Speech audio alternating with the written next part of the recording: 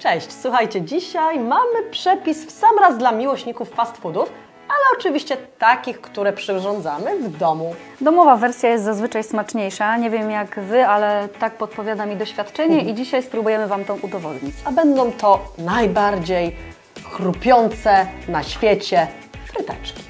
Zapraszamy. Ziemniaki tradycyjnie obieramy ze skórki i kroimy na paski. Im cieńsze będą paski, tym frytki będą bardziej chrupiące. Umyte frytki polewamy octem winnym i zalewamy wodą, po czym zostawiamy na około 10 minut. Po tym czasie osuszamy je ręcznikiem i przekładamy do miski. Sypujemy do nich czubatą łyżkę mąki kukurydzianej i obtaczamy w niej frytki. Teraz smażymy je w gorącym oleju aż do zarumienienia i gotowe. Jak widzicie, frytki mamy gotowe. Przygotowanie nie było jakieś bardziej skomplikowane niż przy tradycyjnym, prawda? Zupełnie łatwo to poszło, a są bardzo Kroki złociste. Ładnie się prezentują. My już próbowałyśmy i są naprawdę, naprawdę chrupiące Smakują i pyszne. lepiej, nie? Tak, smakują, Smakują inaczej lepiej. niż, niż bez tych dodatków. Tak. Ja bym powiedziała, że to zdecydowanie y, mój faworyt, jeżeli chodzi o Mhm. domowe fryteczki. Smacznego. Pa!